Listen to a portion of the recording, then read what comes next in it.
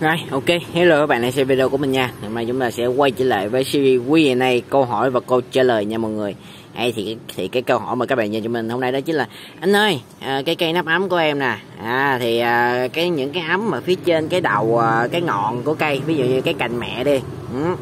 Thì là cái hình dáng nó khác Kiểu giống như cái ấm nó dài dài, cái màu nó khác được cái kiểu con này điểu.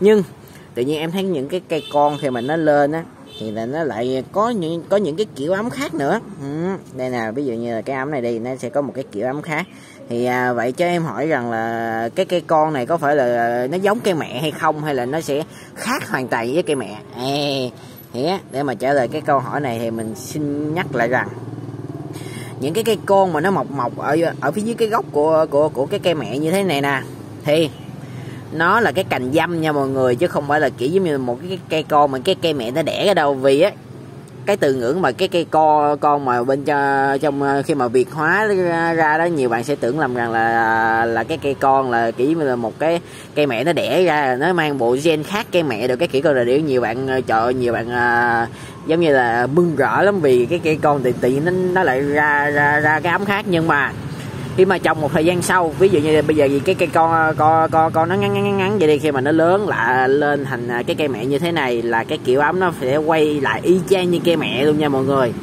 À, y chang cây mẹ luôn nó không có khác gì đâu mấy ông ơi. À, mấy bạn mừng hụt mừng hụt. Ừ.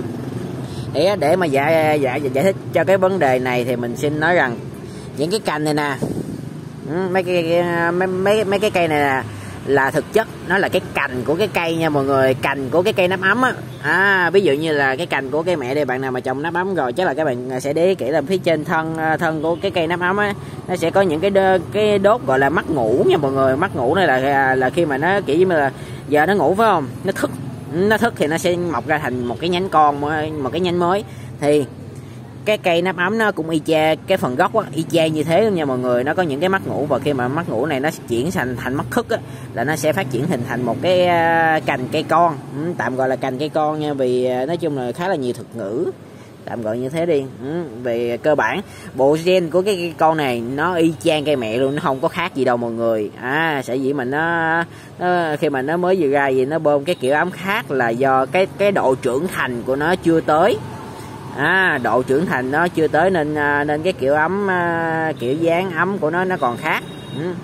còn á muốn mà thay đổi được bộ gen nó ra được cái ấm mưa ấm mà hoàn toàn khác thì chỉ có cách là các bạn gieo hạt thôi nha chứ không à, không không thể nào một một một, một cái cây mà tự, tự nhiên bây giờ gì nó đang à, kiểu như một cái ấm mà dài vậy đi tự nhiên nó ờ, một thời gian xa xa xa gì nó thành cái ấm tròn nó ngắn cuộn của giống như cái ấm này. À, không thể là không thể được như thế nha mọi người.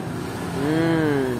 Rồi ok thì đó là cái câu trả lời của mình cho cái câu hỏi của các bạn là anh ơi em thấy cái cây ờ, mẹ nó ra ấm ấm khác mà sao cái cây con nó ra ấm khác? Rồi và cũng có cũng cảm ơn các bạn đã xem video của mình. Nếu bạn thấy clip hay hãy nhấn like chia sẻ và nhấn đăng ký kênh mình có động lực làm video mới nha bạn. Và hẹn gặp lại các bạn ở video tiếp theo của mình. Bye bye mọi người.